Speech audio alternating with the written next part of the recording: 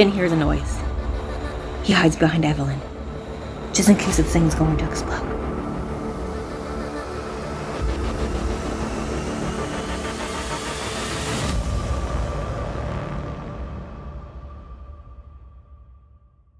Dancing raisins. For this experiment, you will need club soda, a jar, and raisins.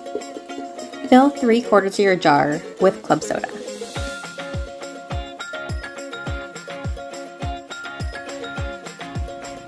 Now we're gonna add a handful of raisins. Finn, you go first.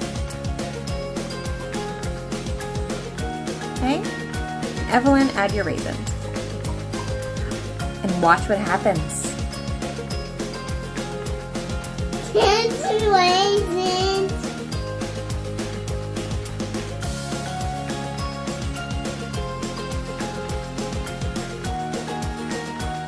Watch as the raisins drop to the bottom of the jar, float to the top, and then back down again. You can even count how many raisins float to the top at the same time. One, two. No, more. I'm done. No, it's going, look!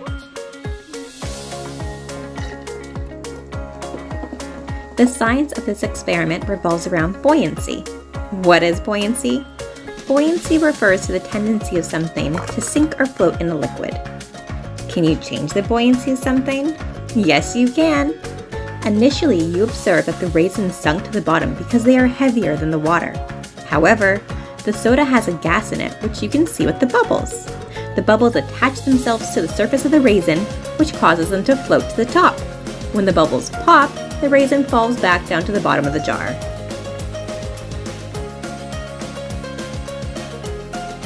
For this experiment, you'll need white vinegar, baking soda, a spray bottle, food coloring, cookie cutters, and a tray. Place your cookie cutters on a tray and spoon baking soda into each cookie cutter. Add a couple drops of food coloring into each cookie cutter. Using your bottle, syringe, or dropper full of vinegar, spray it over the baking soda and watch the reaction.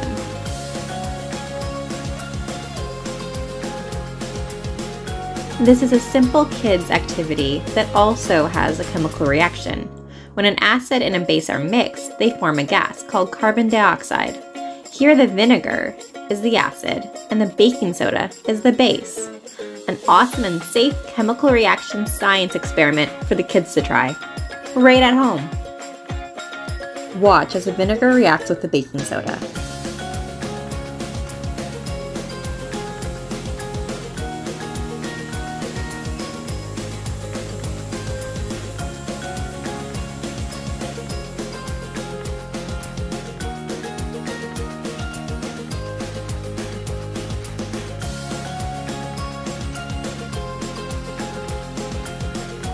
Next, we remove the cookie cutters to see if any of them held their shape.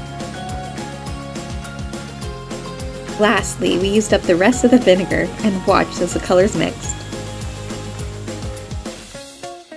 For this experiment, you will need a balloon, a bottle, a funnel, food coloring, and vinegar.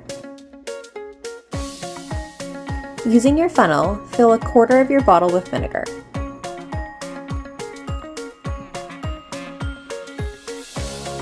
Place some baking soda inside your balloon.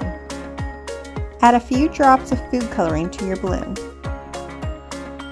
Here's a few tips. Hold the top of your balloon so the bottle doesn't fall over. Stretch out the balloon before placing it on the bottle and make sure the seal is on tight. I don't even know what happened here.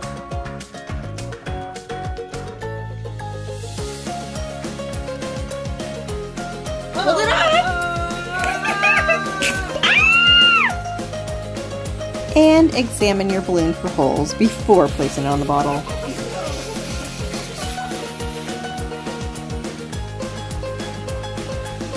After several attempts, we finally got it right. Now it's time for the little ones to give it a shot. The science behind this balloon and baking soda experiment is the chemical reaction between the base, which is the baking soda, and the acid, which is the vinegar. When the two ingredients mix together, it creates a gas, which is called carbon dioxide. As the gas tries to leave the container, it goes up into the balloon. And because it has nowhere else to go, it inflates the balloon.